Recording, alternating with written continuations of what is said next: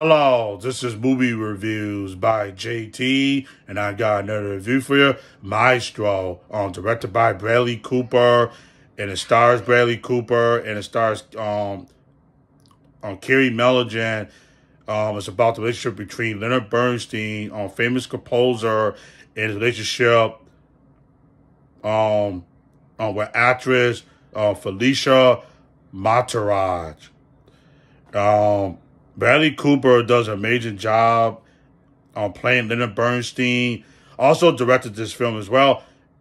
Brilliant film. Liked it. Like the music. Strong performance by Kelly Mulligan and Felicia Mataraj.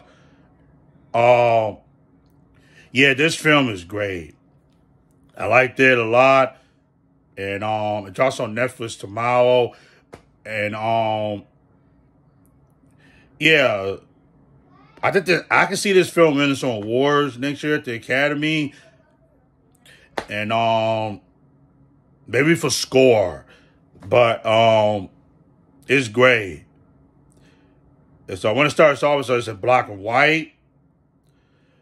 And um, Leonard Bernstein had a lot of um, he also had a lot of affairs too. So, and um, yeah, this movie really goes into deep they're not gonna get too much though, but the, this film is excellent. I love, I enjoyed Maestro so much, and um, yeah, Bradley Cooper knocks it out of the park playing Leonard Bernstein. Does a phenomenal job directing this film as well, and um, yeah, it's one of those films you enjoy, and I enjoy Maestro. So yeah, and um, it drops on Netflix tomorrow. Definitely check it out. And yeah, it's great. Um, I give Maestro a nine out of eight. Great film. So that's my review for Maestro. All right, bye.